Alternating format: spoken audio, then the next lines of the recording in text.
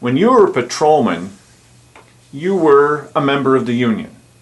Yes. Now you've, what some people would say, changed sides. You're a member of management. There's, yeah, there's people people build that fence. Yeah.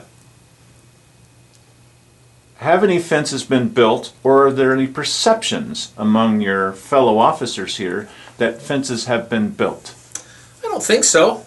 Uh, I actually have a pretty good working relationship right now with the association here at the sheriff's office.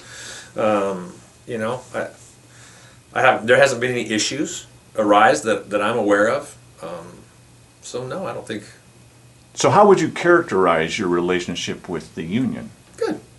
I think it's good. I think I think uh, they're happy with some of the things I've been doing and, and trying to get equipment for them and things like that. And so I, I uh, you know, scheduling, you know, ease and people aren't taking as much sick time, that type of stuff. So I, I think it's I think it's good. I haven't had any issues.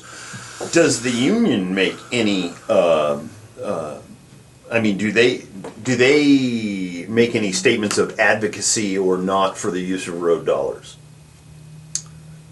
Um, I haven't heard. No, I haven't. I haven't asked them to do that. Um, I haven't heard of them doing that. I mean, they're they're busy. They're a busy group. They're just they're doing the best they can to keep their their uh, head above water. So I don't know. I don't know whether they would or wouldn't or did or I don't understand why they wouldn't. I don't understand why pro levy people aren't up there in gangs saying we Yeah. need to get this guy the money. Well, how come it's all the anti levy people who are doing it, Mike? Yes. It, it, initially, though, uh, at the at the first uh, meeting or the meeting a couple of weeks before the last weekly business session, uh, Jay Meredith was up there, who was the That's the, one. The head guy of SOS was advocating for the use of the road dollars, and I've seen plenty of people in social media advocating for it.